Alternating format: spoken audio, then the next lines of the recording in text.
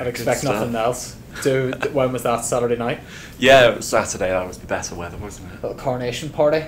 Inadvertently, yes. Yeah, it wasn't the uh, topic of the day, but No. I think good bit of weather, good bit of company, some good food. Yeah, can't beat it. Yeah. I was on DIY detail over the weekend. I was Oh, painting, brilliant. painting the spare room, so I literally chose to watch paint dry rather than watch the coronation. I swear every bank holiday weekend is painting.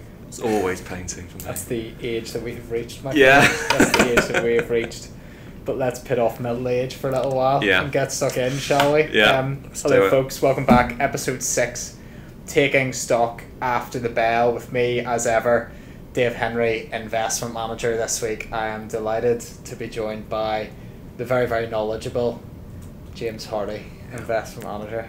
How are you keeping, mate? You well? Yeah, very well, thank you. Yeah. Super, super. Um, let's get stuck in then. So, obviously talking about the coronation coming off back of the long weekend. I thought this was fun. From the FT, uh, they have a little chart showing what FTSE companies looked like the top companies in the index, the UK market in 1953, and compared that to today. Do you want to take a punt at what the the top company was in the 100 back in the day? It's well before my time. Uh, gosh, It's still in the index now. still in the index now. I mean, HSBC. Shell. Shell, of course. Shell. Shell. We've got a few in there actually. Uh, Shell, um, Anglo-Iranian Oil, which became BP, of course. There's a couple of names in there. It just shows you some of these companies have been in, been in the index for not just decades, but you know, almost hundred years now, isn't that? That's seventy years. So amazing. Yeah. It shows the longevity. Exactly. I mean, you know, th- th- there's always a flashy sales pitch for the next greatest idea, but actually, if you just go over the stalwarts, sometimes you can find a real gem. Absolutely. I mean, it would be nice to have known 70 years ago what were go- companies were going to be in the index Exactly. in, in 70 years' time, but that's the trick, isn't it? That's what we were trying to do. Um, so, obviously, we had quite a busy week last week. Um, Fed minutes, uh, 10th rate rise in a row. So, the Fed funds rate is now at 5 to 5 Mm. and a quarter percent. Um, noticeable, I think, for what wasn't said as much as what was said. Um, there was an omission in the minutes afterwards, uh, which had been in previous uh, minutes, saying that the committee anticipates some additional policy firming may be appropriate for the Fed to achieve its 2% inflation goal. That sentence was cut, and Jerome Powell even referenced the fact that that was omitted during his press conference. Uh, in short, I think we have seen the last interest rate rise. Yep. You know, if you look at the futures market, what they're pricing in for the rest of the year, they're talking about uh, a very low probability of a rate rise from here. It's basically locked on that the next meeting will be flat from here. Mhm. And then by the end of the year, they're talking about it being maybe a percent lower than where it is today. So I, I think, is this the pivot? I think so. I think it's probably in the books. I think the last one's in the books. I mean, would it kill them just to stop and pause? I know. Yeah, I mean, they talk about higher for longer, but you know, we're always talking about where they'll end up. But actually, they could just go nowhere, and that would be a real shock for the market because the market is pricing in the cut. So if they just stay where they're at, I think you know your growth stocks could take another hammering. Yeah, really? I mean, yeah, but we're surely just delaying the inevitable. I think in the term of the path of interest rates, but we'll, we'll see. It's all about expectations, as we've Yeah. said many, many, many times. But there was a chart we threw up a couple of weeks ago um, with the pace of interest rate rises in the states, and it's it's been the quickest. Basically, you've gone from zero Yeah, to hundred in the blink of an eye, and this is not only well. I said a moment ago, this is the tenth rate rise that we've had in a row. So we've covered a lot of ground in a quick space of time. Mm. I don't think it would. I just think just pause and see see where we get to personally. Yeah. But I I am not a central banker. Um, speaking of central banks, got Bank of England this week. Yeah, good old B of A. I mean, yeah. we'll probably just follow in follow in Yeah, the Fed's exactly. footsteps. I would have thought and expected that there's another pretty quarter point in the books, isn't it? yeah, yeah, exactly. We'll see. Um, something you sent me before this, James, which some really really good work. Um, is our first chart here up on screen. Um, do you want to just talk us through this when we're talking about rates? I think this is a nice point to sort of segue into that. Yeah, so look, the the elephant in the room is the massive pile of debt that we've accumulated over decades, and I just thought I'd put together a couple of charts to illustrate this.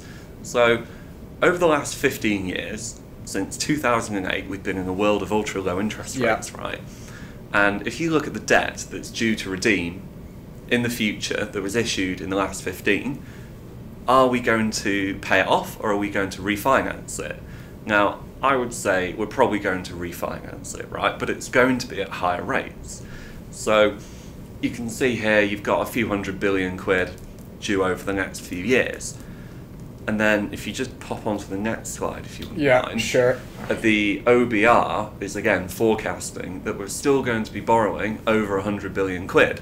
Yeah. Now, it's lower than forecast, but nevertheless, it's still net borrowing. So Look, then, at, look at th- look at that move in 2020, it's crazy. and that's wartime response, right? Yeah. And actually, if you roll up all of those cumulative borrowing and then, what was it, stick it as a proportion of GDP, we're at 100%. That's our next one, isn't it? Here, yeah. So- we can see ah, next chart. It's just the, the numbers are staggering. They're, they're truly staggering. And if you if you imagine, you know, we're holding up like a you know atlas with the atlas mount on, on it. Currently, it's like a balloon. It's just filled with air. That's when interest rates are really low. But what's been going on with rates going up is that balloon is converting into a lead balloon. So it's only going like to one get of your jokes. Always. Yeah, they don't pay me for my jokes, that's for sure. um, so that debt servicing Yeah. on that massive mountain is only going to get more and more expensive. So really, are they going to keep rates at these levels or not? I think they're going to cut them. Taking it back a step, looking at that chart there that's on screen at the moment. There's two ways to get that bar chart down. Pay off your debt.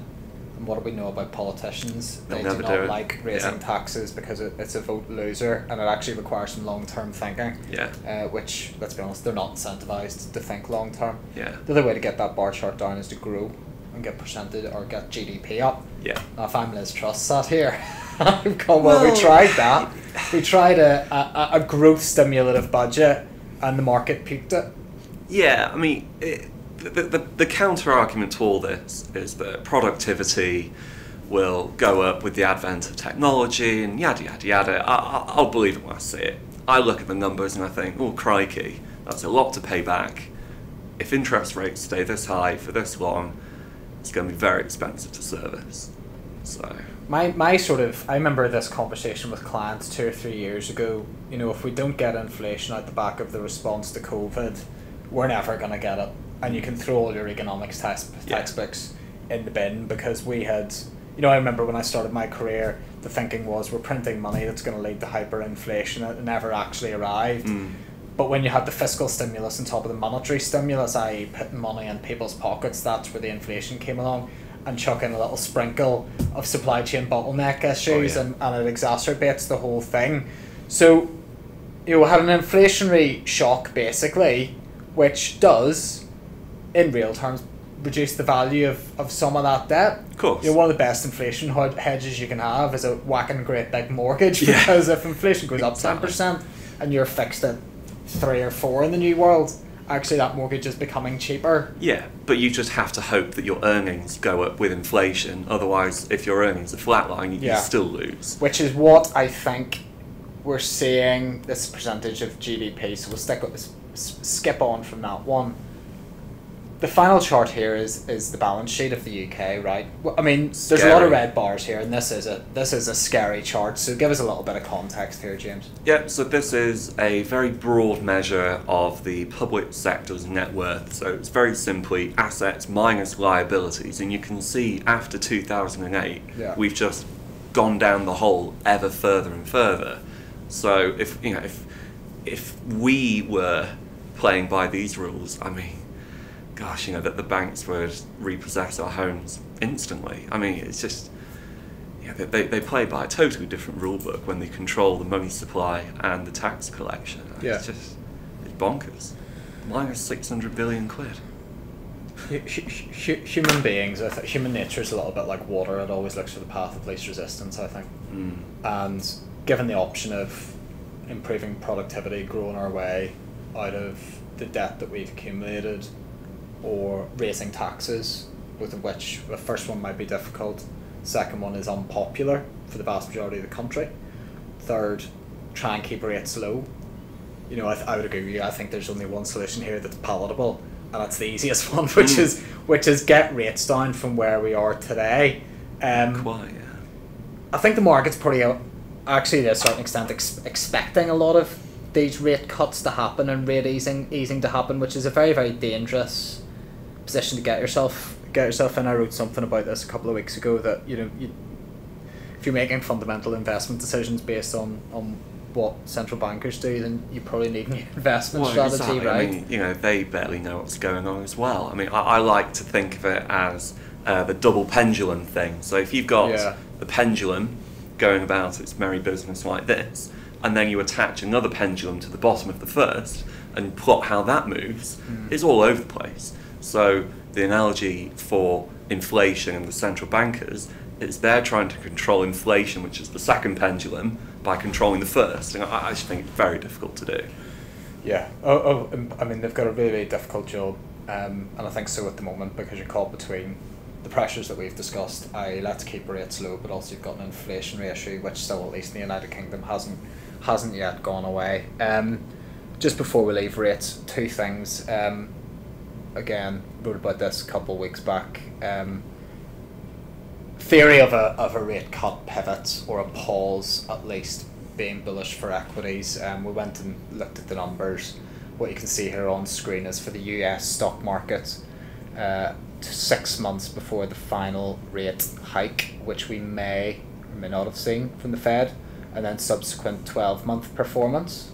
Um, this is the same chart, exactly the same chart, but for the Bank of England with rate rises and the UK market in respective of equity market performance. I, I, I don't think there's a lot here. I don't think there's a lot here, mate. This is a really noisy chart. I yeah, mean, it's not an obvious trend, is there? no, and the point is, I suppose, that if you're waiting for a final rate rise to get invested, then sure, you know, the, the average 12 month return after the final rate rises in the books is a little bit better than the average. I think it's 2% more in, in the States and, and maybe 5% more historically in the UK. But those dispersion of outcomes is so wide, I don't think you can use that. Oh, basis. exactly. I mean, it all depends on the nature of the rate cut as well, because if you've got the economy falling off the cliff and it's an emergency rate cut, well, that almost guarantees. Well, this is this is final rate rise, but it's the same point, isn't it? Yeah. Because you might have made the final rate rise, had expected more, and then, oh god, Yeah. there's a major major economic incident. So actually, we can't we can't raise, but um, absolutely right. What we don't see behind each, each of these lines is causation. Yeah. Um, and that's obviously going to. Again, if we knew where the economy was going and by extent earnings, maybe we would have an idea, Yeah. but we don't. So we don't. Yeah. Um, final thing on rates, and, and this wasn't in this wasn't in the packs. This is the first curveball. Uh, Skipton Building Society announced today, hundred percent mortgages are back. Oh my word. The good times are back. Um, I've got maybe I've got maybe a controversial view on this. So I don't hate this. Maybe it's being Irish and love and death. I, do, I don't hate this. Um, you're gonna have to put up two years worth, or I think three years worth of proof that you've actually made rental payments and, and met your rental obligations Right. it sounds to me like there's actually some sensible digging done behind this. You know, if I'm if I'm a renter and I've been able to meet my obligations month in month out, and I've got an impe- impeccable credit record, and I don't necessarily have a fairly large bank of mum and dad to tap into, I don't hate this. I really don't. It all makes sense on paper, but then isn't housing just a function of credit supply? So if everyone can borrow because they all have zero deposit but a good track record, what why doesn't the market just melt up because supply hasn't changed? But you're allowing more and more people to buy in because they're all borrowing 100%. What? Th- th- This is crazy. Surely this is absolutely bonkers. Eh, I'm not. I'm not so sure. Well, listen, we'll see how it plays out. But I think ultimately, the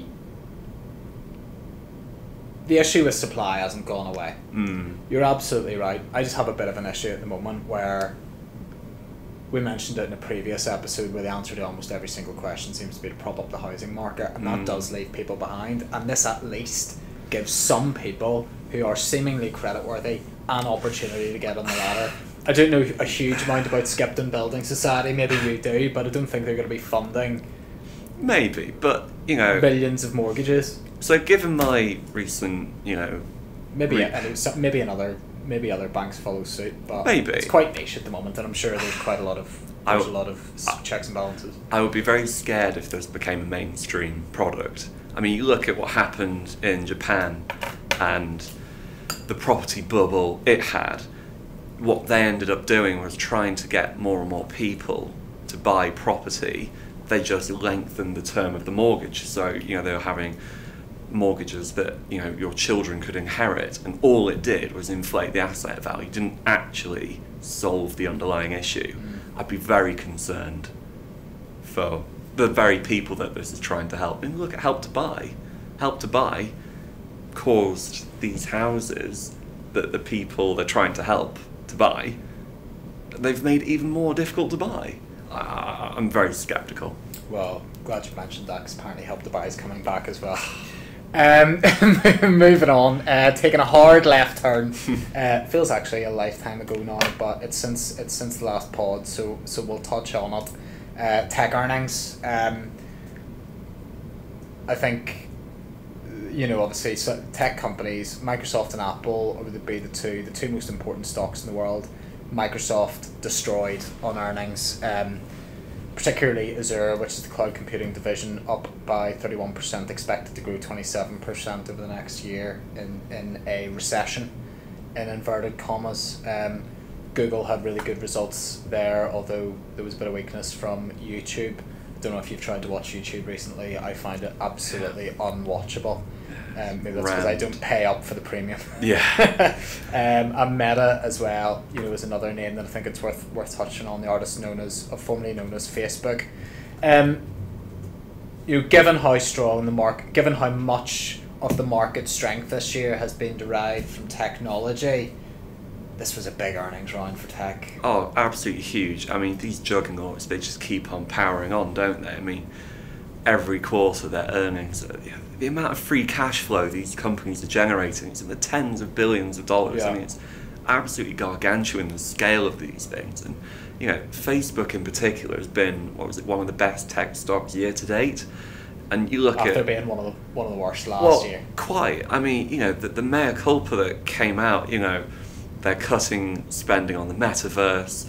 Zuckerberg is uh, giving away some control in the company. They're doing buybacks, job cuts. I mean, it's literally everything that the Bulls wanted to see and the Bears didn't want to see. Absolutely everything. I mean, he's put on a tie. He's stopped talking about the metaverse. Yeah. He's given the street exactly what they wanted, which was Exactly. relative capital efficiency and capital discipline. and I get that, but the big thing for me with Meta's numbers was that they beat on revenue, Yeah. and you can't cut and make more efficiencies. That that's where that shows up in earnings. Um, if you're reducing costs, you should be reducing revenue in theory, and Yeah. actually they beat on revenue. So I think that's really encouraging for the stock, and, and probably why we saw the main reason we saw a fairly big pop. But um, again, it just shows you how quickly the narrative and these things turn around. Mm. Meta, you couldn't have given it away last year. It's pivoted. It's been one of the star performers, as you said. Netflix would be another name in tech that, again, you know, growth slowing. Nobody's going to pay for Netflix anymore. They've made everything they're ever going to make. And When- it's changed now. Yeah, I mean, nothing with the company itself changed, but again, we keep coming back to this. It's all about expectations, and when people are all on one side of the room, there's no left. There's no more room to go in that side. Mhm. You know, the expectation that Netflix's X growth became baked in. Yeah. So any upside surprise, suddenly you get this massive re-rating. Uh, absolutely. Um, we'll touch a wee bit more on expectations Yeah. in a wee bit, but before I come on to that, or we come on to that, um, here's where we are with tech valuations. This is from our friends at, at Polar Capital, who we had in a couple of weeks ago. Um, this is tech valuation on an absolute basis on the left hand side and versus the market on the right hand side. Um, the new slide I show I have with this chart is that it includes the dot com bubble. Uh, you take out those valuations and, and current levels certainly feel a lot toppier. Um, I think the point is that they're making is yes, tech is not cheap, and I don't think either of us would say, apart from the odd special situation that you get maybe. Yeah. But when you bake in the growth actually it's quite attractive. So Google, Google's one that you get the opportunity to buy cheaply the Yeah. odd time Exactly. because the narrative's a wee bit hairy at the moment because people are concerned about uh, OpenAI versus Bard and maybe um, the search business being being cap or being competed away. It's on a cheaper valuation. It's basically on a market valuation for double the growth of the market. yeah. Seventeen times for seventeen percent. Yeah, I mean, when your very name becomes a verb, I think you've, you're onto a winner. I think it's up to OpenAI, ChatGPT to prove that it can disrupt search before I believe that. Yeah. So I'm quite keen on Google at these levels because I, I'm, I'm I I just don't believe it. It might be the next best thing, ChatGPT. It really might. But if I'm going to stop googling, I don't know why I wouldn't Google yet. if to it's just- inherently fun. It's ridiculous, isn't it? Yeah. But it, it is. It is true. Um, counterpoint: Google's search business has very very high margins. We estimate over seventy percent. I mean, capitalism shouldn't tolerate that, right? Yeah, I mean, they not only dominate the search, but they also dominate online advertising. Uh-huh. So they own basically every touch point on the value chain. You know, they've got the demand side, they've got the supply side, they've got the exchange that sits in the middle. You know, I think if those practices were regulated in the way that our industry is regulated, they go, oh, that's a bit of a conflict of interest, isn't it? So, I, yeah, unassailable is how I would describe their position. Yeah. I mean, I th- I think Google's a fabulous company on a on a reasonable valuation and strikes me as a pretty good investment opportunity there. Yeah. not investment advice, of course, but um, I think I don't think it's the worst idea in the world. Um, expectations, right? Uh, the only reason, one of the only reasons I can find to be positive about the world in terms of markets at the moment is just how bad expectations are, how low expectations are, and where sentiment is at. Yeah. Um, so there are a bunch of charts here. They're all saying the same thing. Uh, are you going to increase or decrease equity exposure in the coming days and weeks? Uh, the percentage planning to increase equity exposure, according to J.P. Morgan, is as low as it's been in the past couple of years. Um, where do you see again from J.P. Morgan? Where do you see S and P five hundred at year end? Survey of institutional investors, um, over two thirds see it materially lower than where we're at today. Um, and finally, uh, this is net overweight equities versus bonds. So basically, if you're below the x axis there, you're playing defense. If you're above, you're on the attack in terms of equity exposure, and, and people are positioned very defensively. Um, there aren't many more ratings below where we are today. Um, the main notable ones are, are in and around the global financial crisis there. So expectations rock bottom. As you said, this is an expectations game, and actually, if we get some good news in inverted commas, or the world doesn't end, maybe maybe there's a potential for a bit of a rip, and, and maybe that's what we've been seeing year to date. Yeah, I mean, if you think that interest rates are going to go back down to this ultra low, soggy rate rise world, I, yeah, the argument for owning bonds is quite compelling, so I understand why it's negative. But equally, you know, your quality Yeah, companies, fair point. your quality companies are still going to be grinding out quarter to quarter, year to year, decade to decade of just growth, and they'll just nail it. You know, you look at the price of Guinness, right? So we had a great slide from our friends over at Lindsell Train when they came in to present the other month. They talked about the real price of Guinness over decades, and it's up so many multiples. You, you Mm. wouldn't believe it.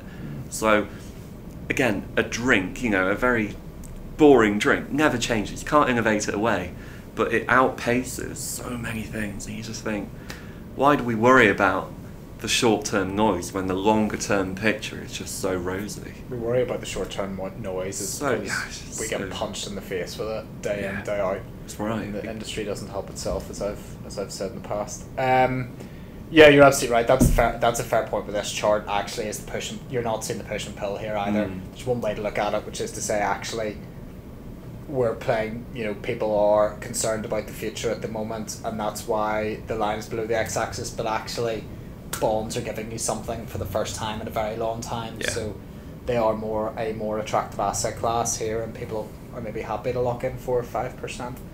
Um, we will see, but expectations I think I think pretty low. Um, we've been talking for a while about recession, and, and I think that's why people are quite negative. Um, the market, I think, is doing underneath the bonnet exactly what it should be doing. The cyclical economic stuff is cheap, but the steady, boring stuff is relatively and absolutely quite expensive, Yeah. I think. So this chart is showing you uh, valuations for consumer staple type stocks. So I, I've picked four at random: uh, Coca Cola, Procter and Gamble, Colgate, of course, good old toothpaste, and Unilever. The only uh, the only UK there na- name there to give us an idea of, of what sort of discount there is for for stocks in the UK market. Oh yeah, I mean that's what jumps out to me. I mean, you know, Coke, Procter and Gamble, Colgate. You know, yes, they all have different products, but it's similar underlying. You know, population growth trends, pricing increase, and you know, Unilever's got exactly the same, but it's just lo- it's London listed and it Yeah. trades at such a big discount. Uh, three and a half percent of MSCI World now, aren't we? I think or four or something. Um, so it's an easy UK. Sadly, is, is an easy market to ignore. Probably if you're an international manager.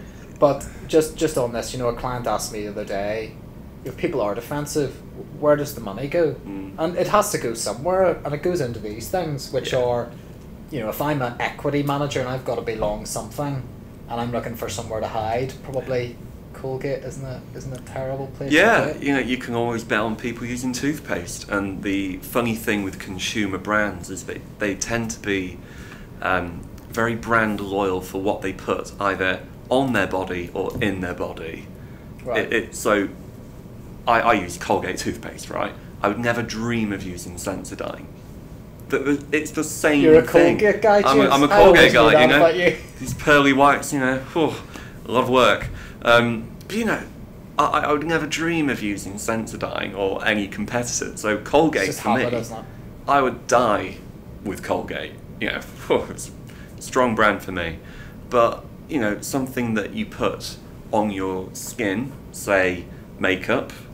Um, again, those are also very, uh, very brand loyal. Yeah. So I understand why they trade at premium, but come on, Unilever, it's such a big discount. Apple's a bit like this, isn't it? Yeah.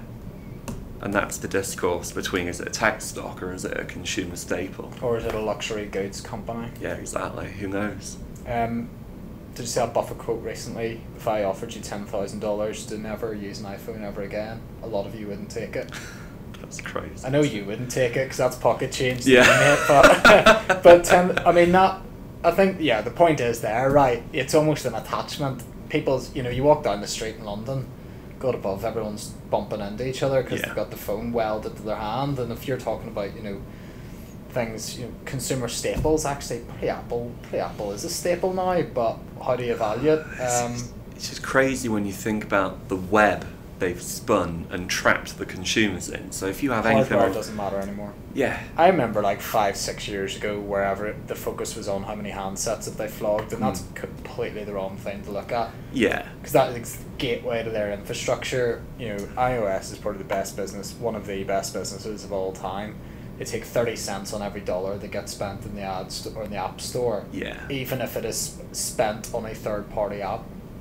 So now, there's a lot of pushback against that, but that that is an incredible business. It is until the regulator goes. This is a joke. If they haven't done by now, Wow. It was like when they had um, Zuckerberg in for that congressional testimony where they were asking, is WhatsApp an email? You know, th- Yeah. these guys just don't know what they're doing. Yeah, I mean, there's a regulatory argument, I think, with the breakup of the tech companies that actually that might be bullish short term in terms of valuation and you extract some value from these businesses, but Yeah, the sum of the parts for Google, for example, absolutely. Yeah, break it up, bring it on. They, they- they can't be allowed to, to grow to a size that is, Like they already have. well, probably, probably. Um, so if you know, you look at consumer staple valuations, tech, mega cap tech. Actually, I think people are looking for safety Mm. pending a, an incoming recession. This is a similar chart. You know, small cap is outperforming large cap in the UK when when the chart is high, vice versa when it's low. people want safety of large companies Yeah. when you're going into an economic slowdown type environment. Um, again, cyclicals v defensives. Defensives outperforming cyclicals at the minute as people position for, for a pending pending recession.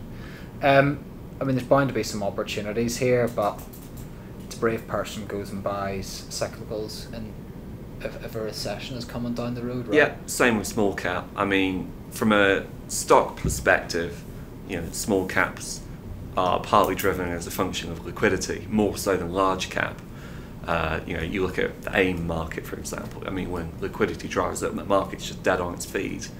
Um, and certainly from the business perspective, small caps tend to be slightly riskier. You know, they might have more debt in their structure, um, or they might not have been as long established. Um, so certainly they're the first to fall victim when banks don't want to lend to businesses anymore. It's to the small companies they cut that loose first. So it, it takes a brave person to be buying small cap. But again, that previous chart there, the small versus large, when you get to these levels, small caps often do quite well. Yeah. But you'll never feel safe doing it at all. But that's sickening usually trade. that's, that's usually the sign of a good trade is when you Yeah. feel a bit sick making it. Um, I was listening to a podcast with Cam Harvey recently, who um, is the gentleman that discovered that the yield curve is a decent predictor of recessions. Yeah. Well, yield curve inversions, basically, when short term interest rates are above long term interest rates, which should not be the case, but that is, Mm. I think, predicted nine of the last nine recessions. It's got them all, and there's been zero false signals, which is incredibly, incredibly impressive. Um, one of his points was actually because the yield curve has become something that everyone looks at now, right? And because everyone expects a recession, like this is a slow moving train Mhm. down the tracks that we can see coming if it does come. Actually, that probably insulates you from the worst effects of a recession. And the example he gave was, you know, let's imagine you are chief executive of a listed company, and in 2009 you stand in front of a room full of shareholders and you say, Man, this really caught us out of left field. We did not expect as deep and ugly a recession to arrive at all, and we've been caught offside. We're doing our best. Mea culpa. Fine. If you stand up in front of a room of shareholders as chief executive in 2024 and go, oh man, we didn't see that coming, I'm sorry, we're caught offside completely, they're going to laugh you out of the room. So you're seeing companies take steps now to try and protect from the worst of a recession. And you're seeing layoffs, mainly in tech, to be honest. Um, but you're starting to see measured layoffs and projects getting cancelled. And actually, if that recession does arrive and the slow moving train does come in, then actually the recession probably isn't going to be as sharp as, as maybe people are fearing because of these. You know, it's been more gradual, I suppose. It's all a very good Preparation. point. I mean, I just don't think anyone can predict anything with any real certainty. No. So, you know, if the butterfly flaps its wings in one country, it causes a tornado in another. You know, these sorts of small movements, but then they can have a weird cumulative effect, and then you chuck a wild card event into the mix, it destabilizes everything. I, I I think no one can really predict anything with much certainty other than the yield curve, incredibly. It's the one thing that Yeah, seems but to be. he, he, you know, Cam Harvey, fun, funnily enough, actually wrote a piece at the beginning of the year saying that it, he thinks this is the first false signal, really? which was interesting. I mean, listen, who knows? And we, we don't necessarily we spend a lot of time on the pod talking about macro, but we're not macro managers. We try to find decent companies and, and stick with them over over extensive extended periods of time. But people do naturally focus on the big picture. But you're absolutely right. This stuff is really really hard to predict and infinitely complex systems. It's quite interesting. I mean, a lot of, you know, a lot of things feed on their own expectations. So, for example, in an inflationary environment, it fuels its own inflation because you expect it to keep going up. So you buy, which causes the prices to go up, which makes people go, "Oh, inflation, better go buy." So expectations again, it's really everything, and it's self fulfilling that's what's truly incredible about this dynamic environment we find ourselves in. Just want to finish up with one thing because I know you're a very keen investor, enthusiastic investor. Something that caught my eye um, a couple of weeks ago. Bed Bath and Beyond has gone bankrupt. Uh, formerly a meme stock Yeah. uh, during the good old days of, of 2020 21 as well. Um, you know, it's had to file for bankruptcy. Other thing that caught my eye, you know, the company spent more than 11.8 billion buying back its own stock since since 2004, which must be one of the most incredible uh, destructions of shareholder value of, of all time. Um, simple question, you know, we talk. It's been it's been a hot topic over the past couple of years: democratization of investing and young people having access to investing, and older people wagging their finger, going, "This will end in tears," and in some cases it has. What What are your thoughts on that? Good or bad thing? Because I think that there are there are two sides to the argument. Yeah, I mean, first of all, to defend my fellow youngsters, I would say age is no impediment to making a bad decision. I think we've all seen. That's a very generous way of putting it. yeah, everyone's capable of making a terrible decision. So I don't think youngsters getting pinned for using Robinhood is any different to, you know, your your older cohort uh, going all in on some speculative mining company. So uh, that would be my first offence. But secondly, you know, these apps, you know, Robinhood, Webull, all of them it's a net positive for the market insofar as it drives down execution costs, which is good for all market participants. So that would be, you know, the, the defense. But I, I think on the whole, I think the apps are very bad for the gamification, you know, the, the gambling argument. So when you go on one of these things and you click buy, it puffs it puffs some confetti Yeah. which is totally against what it should be. It should go. Remind yourself of the risk. You know that that it, sh- you should go into this thing very it's, it's, it's a really fine balance, isn't it? Because Yeah. investing, good investing, should be pretty boring. Mm. Because it indicates you've got a decent asset allocation because you're not looking at it every two minutes. Yeah. If you're looking at it every two minutes, that's usually a usual decent indicator that you're probably taking on too much risk in terms of your asset allocation. Um, but you also want to get people interested, Yeah, and there's a lot of disengagement from the average young person, I would say, in the country, and actually finding some way to get them interested in investing is, is a good thing. And we had this moment in time where there's no football on, Mm. you couldn't gamble, you had some money in your pocket because you literally couldn't go out and do anything, yeah, and people people got into trading. And yeah, you're going to make mistakes. Everyone makes mistakes. No one is a robot. If you're going to make mistakes, make them for goodness sake when you're young. Yeah. and the pound amount and the pound amounts aren't uh, aren't eye watering. Um, listen, there's good and bad things, but I, I just think that every generation has to learn, and maybe this was a learning moment for for the generation that are coming up. Well, I guess the, the only thing we can learn is that we never learn anything. Human I mean, look look changes. at look at speculative mania throughout history. You know, South Sea bubble. You know, Isaac Newton. I can predict the the path of the planets, but not of men or you know, whatever the saying goes. But you know, you've got the tulip mania. You, Yeah. Everything. We, we never learn. So that that's the one thing I would say we've learned. Yeah, absolutely. We, we like to be part of with our money pretty, pretty easily.